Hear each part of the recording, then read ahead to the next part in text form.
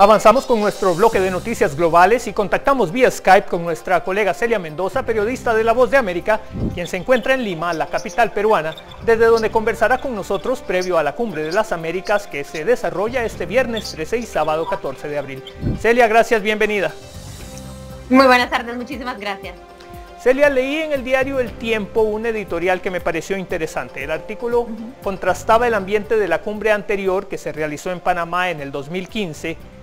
donde se hablaba de optimismo, donde había buena energía, una sensación de que se perfilaba un cambio de era y que esa fue la tónica de las agendas de los participantes y que en cambio el ambiente que se percibe ahora previo a la Cumbre de las Américas 2018 dista mucho de lo que fue la cita de hace tres años en Panamá. ¿Estás de acuerdo con esa opinión? ¿Se percibe ese ambiente en Perú?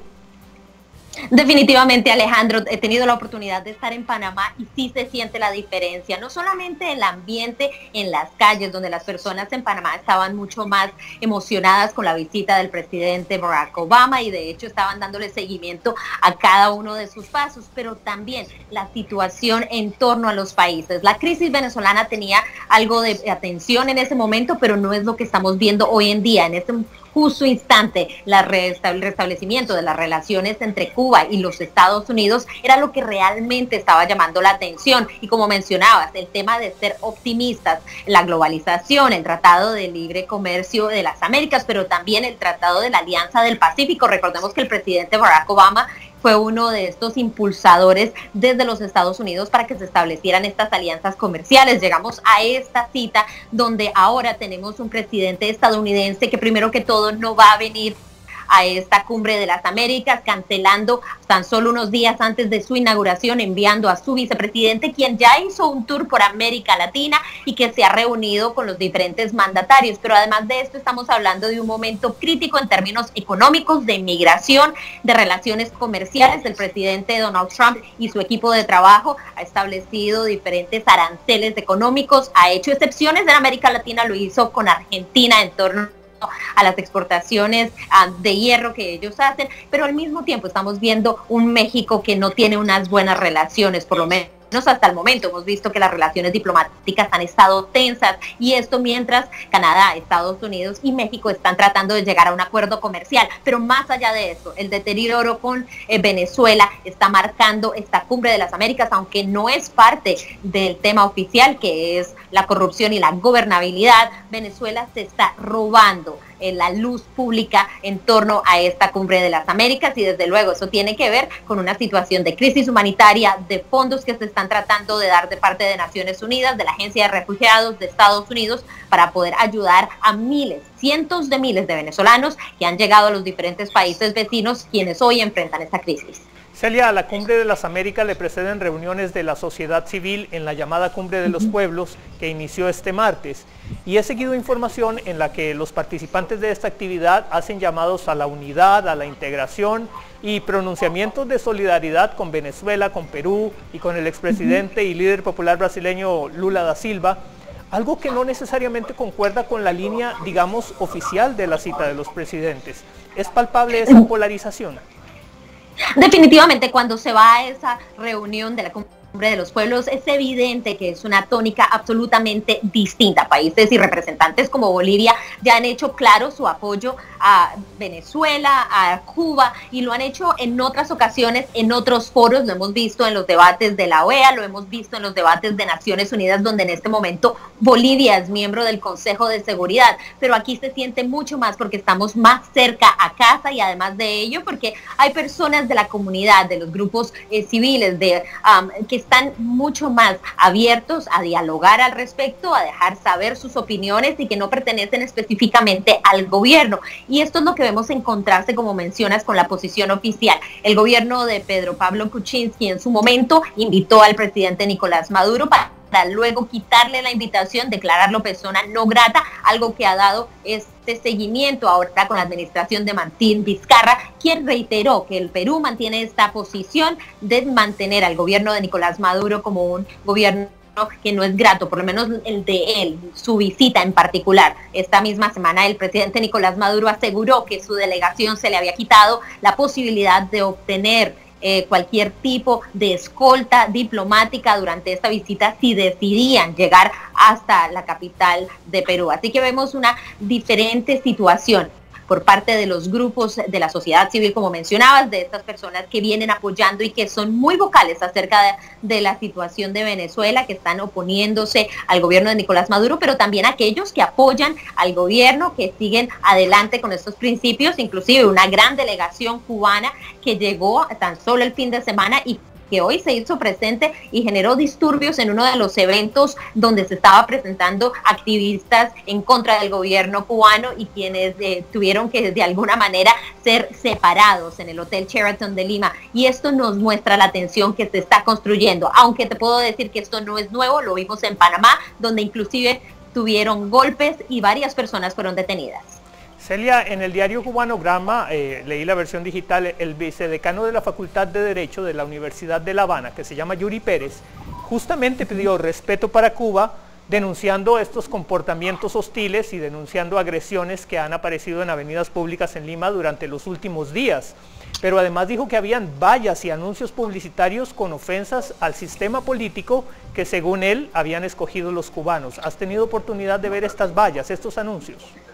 Así es, hay una valla por lo menos que ya se puso en lugar, es una de estas vallas enormes en la cual hay una fotografía de Raúl Castro, donde también se está hablando de Nicolás Maduro, básicamente son vallas en las que están acusándolos de violar los derechos humanos, de tener presos políticos y esto es algo, un tema que hemos visto en torno a estos grupos. Pero al mismo tiempo hay que recordar que el gobierno de Cuba trae una gran delegación, no solamente diplomática, pero también de la sociedad civil que viene apoyando al gobierno de Raúl Castro en esta que sería la última visita a la cumbre de las Américas como el líder del gobierno cubano. Celia, el presidente peruano Martín Vizcarra dijo en una entrevista a una cadena internacional, a CNN, que en la cumbre se debe hacer un esfuerzo para que todas las opiniones estén resumidas en un documento. ¿No te parece que de ser así sería un documento muy extenso? Estoy usando el sarcasmo por la variedad de opiniones de los participantes.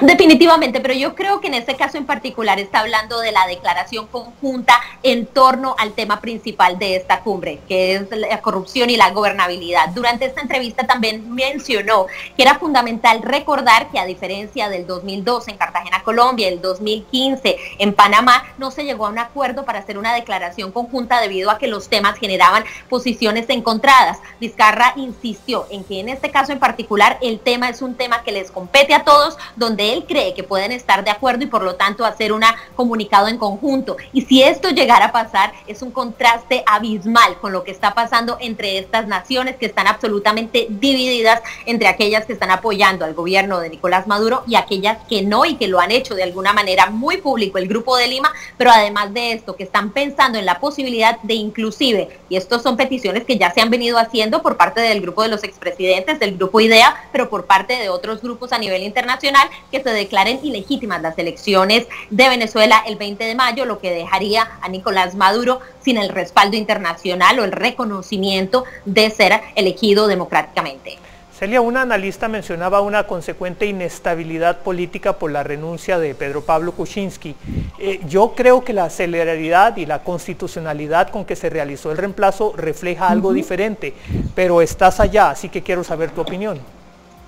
Realmente hemos visto que se ha mantenido la calma, algo que ha dicho, y esto tenemos que, verlo eh, con una lupa, él nos indicaba, el presidente del Congreso peruano, ayer durante su intervención en la reunión de parlamentarios, indicaba, hay que pensar qué hubiera sucedido hace unos años si esta renuncia se daba de la manera que se daba. Hubiéramos visto, según él, eh, destrozos en las calles, protestas, inestabilidad política. Y lo que él aseguraba es que esta situación es evidencia clara de que Perú ha avanzado, por lo menos en este proceso democrático en el que se pudo hacer una transición de alguna manera poco eh, dramática en la que se transfirió el poder al vicepresidente, se mantuvieron inclusive eventos como este de la Cumbre de las Américas, que en su momento se puso en duda si se iba a poder realizar debido a esta transición de poder que según ellos ha logrado de alguna manera poner a trabajar a la oposición peruana con el gobierno actual. Y esto obviamente se refleja en los cambios de Cancillería, en los cambios de trabajos que se están haciendo, tratando Vizcarra ahora de,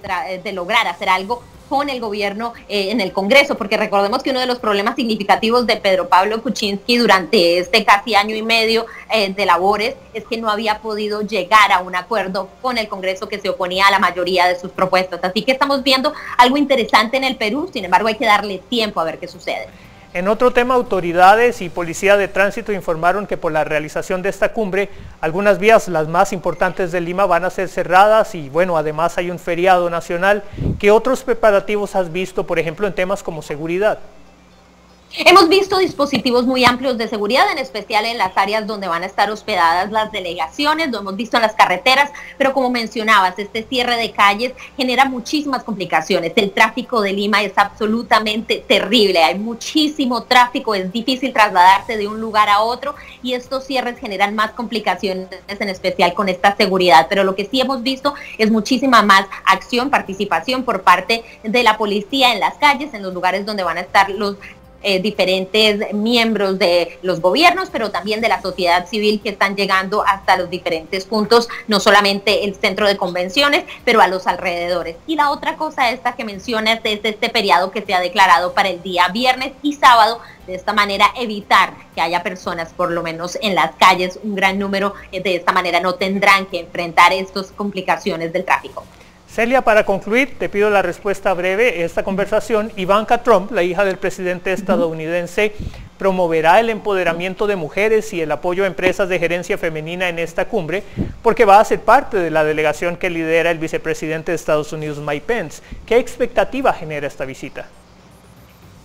Realmente genera mucha expectativa. Ella sería lo más cercano al presidente Donald Trump, es su hija y ha sido representante no solamente de la marca Trump eh, como negociantes, pero ahora de este gobierno y hasta cierto punto ha sido considerada casi como una consejera eh, no formal del gobierno. La vimos en estas reuniones en Corea del Sur con el primer, con el presidente allí. Pero lo que es claro es que va a ser muy importante, va a ser hasta este punto uno de los eventos más seguidos y que causa no solamente atención debido a la política, pero debido a quién es ella y esto genera... Eh, obviamente expectativa. Ahora, su influencia y su impacto habrá que verlo definitivamente porque todavía existen muchas tensiones entre América Latina y los Estados Unidos y ella es una representante del presidente Donald Trump, quien en los últimos días y en las últimas semanas ha hecho cosas que han enojado a la región, no solamente en comercio, pero inclusive llevando tropas a la frontera entre México y los Estados Unidos. Celia, muchísimas gracias por tus apreciaciones. Hasta la próxima, seguimos en contacto.